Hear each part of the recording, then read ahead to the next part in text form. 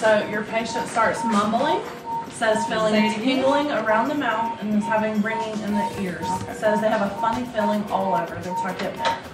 All right, Miss Smith, hold tight. Hey, Emily, will you get a resident? Hold tight. Get anesthesia. You having any pain anywhere? So get the package resident. Okay, so your resident's here. Miss Smith just got a block. She's a dialysis patient, stage renal. She was a little anxious. We gave her two Versed. Block was done without symptoms, without any complications. Now she's mumbling, can't really understand the words she's saying. She did say she was tingling around her lips. Her pulse ox is not tracking well at all. Yeah, this is likely Blood- blood pressure cardiotoxicity is secondary to the seven. local anesthetic. So let's start the emulsion. How much do you want to start? Will somebody get me another pulse ox? Mm-hmm. All right, how do I, how do I run that? Specific, what- They'll like the same Yep. emulsion.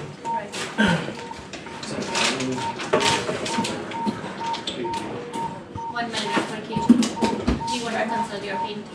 Yeah, I asked the patient. They should be coming in a second. Emily, I didn't get And them. call your practice Yeah, let's get uh, Will somebody get the PACU attending, please? Like, really good attending?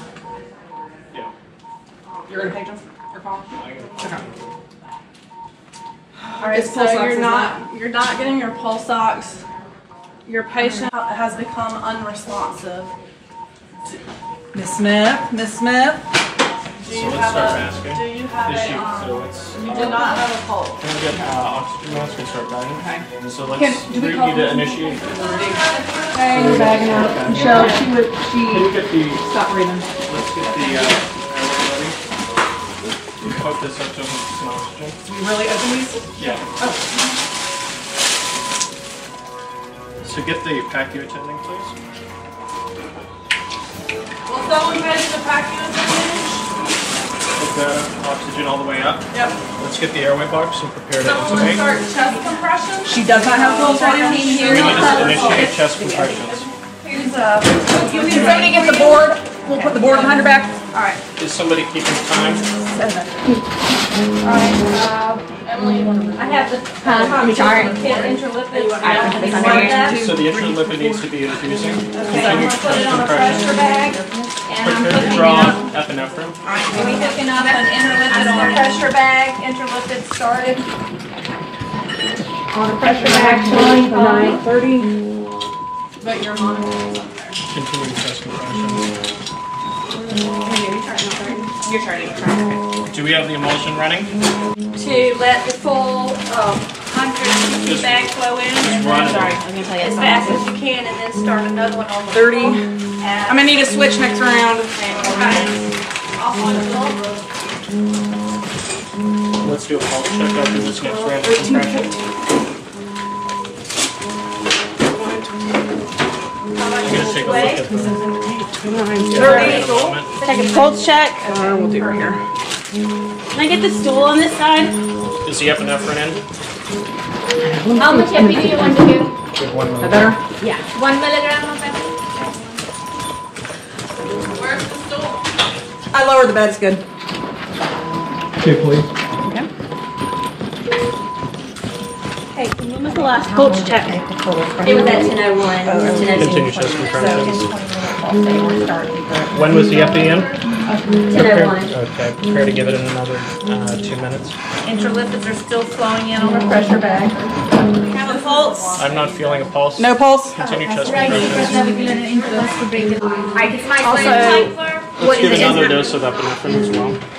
One milligram epi. All right, let's All right, do a pulse let's do a check. pulse check. I have a pulse here. You have a pulse? Yeah, I have a pulse. Let's bring a ventilator down here. Ventilator's here. When's the last draw the rainbow. Monday, Wednesday, Friday, so today is Monday. Monday, but she probably didn't have it done today. Get so she probably got. Friday was her last dialysis. And the gas here. I still have good air. Okay, so our heart rate is back to 100. She's setting 100%. Blood pressure is good. Going up to the ICU now. Uh, Code and So I think uh, all of you did a great job with the code. Um, it was um, it was really a good one. Everybody had uh, their uh, kind of knew what they are doing, and uh, he really did a great job identifying that it could be a local anesthetic toxicity. Um, what do you guys think about it? About the code, how did it go? Um, if you want, How about you, Lauren? and this is good. I don't, I didn't know about And people need to know that we do have this bag with everything in it for a little cheat sheet and luckily y'all had a sixty-five kilogram person which seventy, that puts us right around the same. But no matter what, you're gonna get the pressure bag going, uh, of the first bag just to shoot in as fast as you can anyway. So making sure there's a good IV to hold it. So I guess I didn't feel anyone was com- super confident in the first dose. Yeah. So it, since we have this, I think I was more com- like, you know, right? Right. I feel like when I was trying to start it, nobody gave me a real clear answer on how much to give. Well, if it, yeah, because this will say if it's a seventy kilogram, Mhm. which is your average patient. If they're obese or something, you're gonna add a little, but you know you're gonna start a bag fast, and then you can stop it or add more to it, you know, so if you just get that bag going 200, 250 over fifteen to twenty minutes. So the management of code after local anesthetic toxicity is different from a regular code. There are a few differences, like the dose of uh, epinephrine. Usually we give one milligram every two to three minutes, and after local anesthetic toxicity, if there is a code, then the dose is less than one mics per kilo.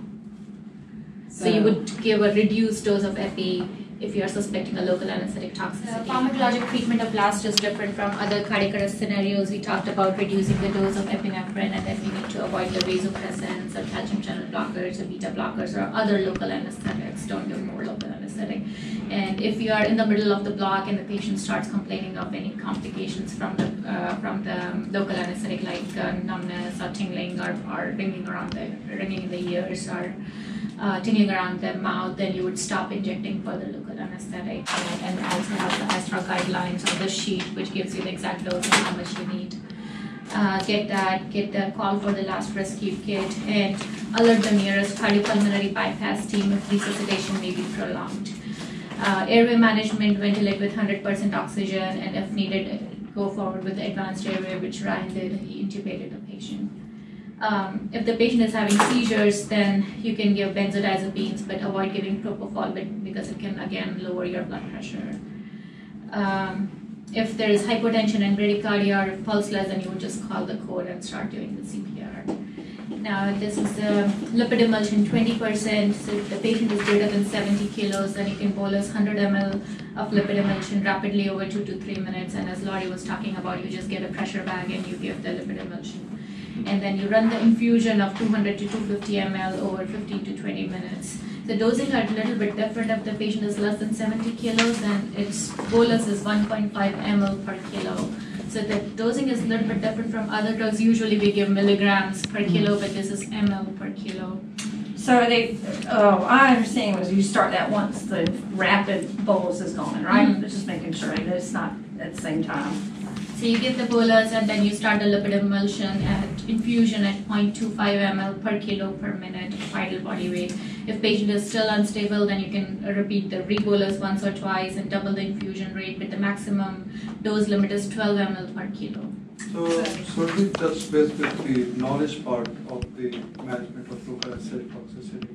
But let's talk about non-technical skills and uh, like running the code kind of scenario.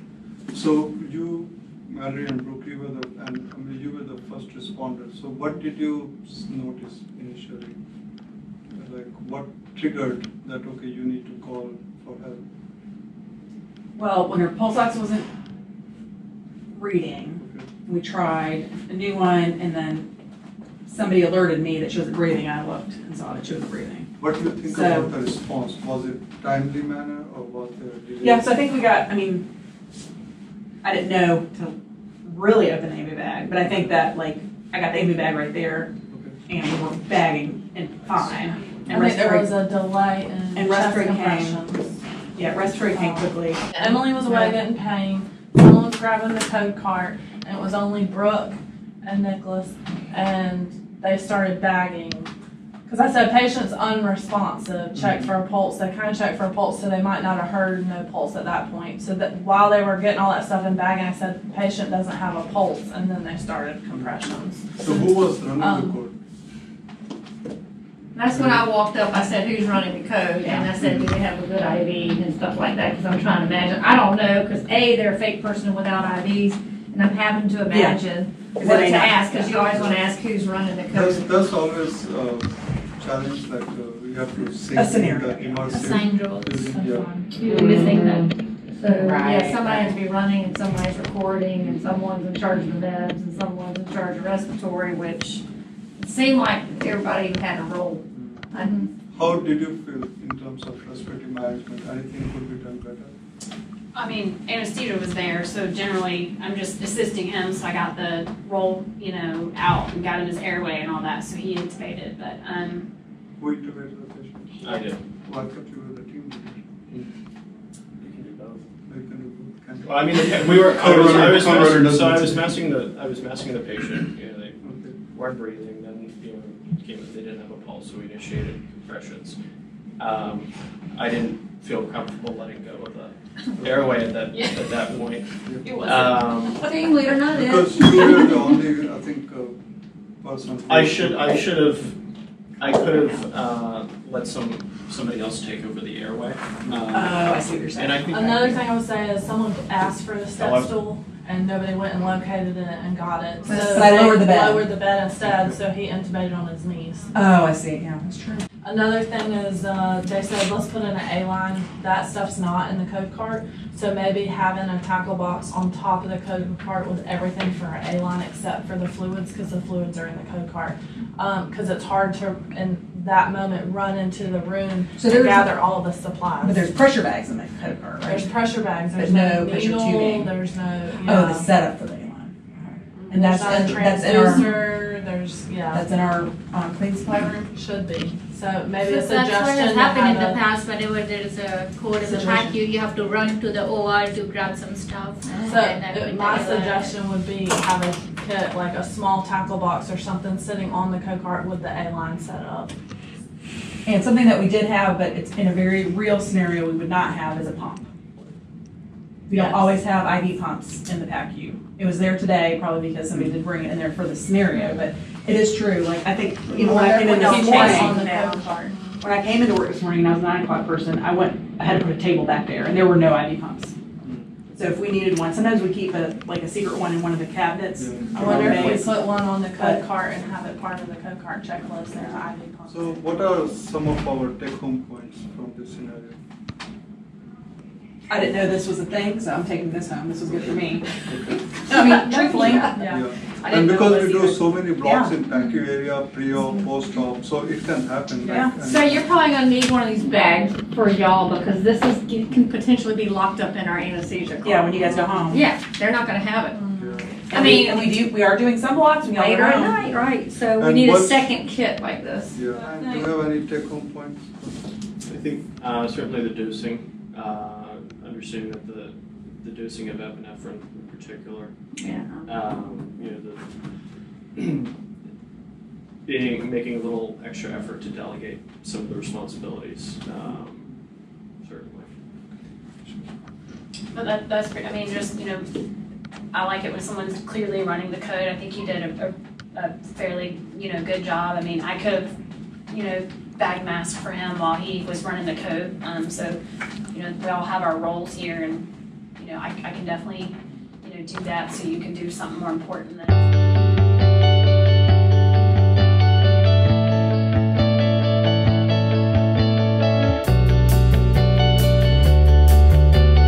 Anybody was doing the recording, like? Emily. You were what, what did you see with the timeline?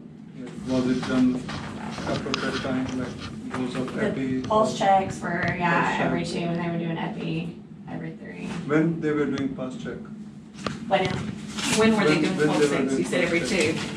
Right, every two minutes or? uh-huh, yeah. They checked it at, they called the code at nine fifty-nine, ten oh one, there was no pulse, another pulse check at ten oh three. And then,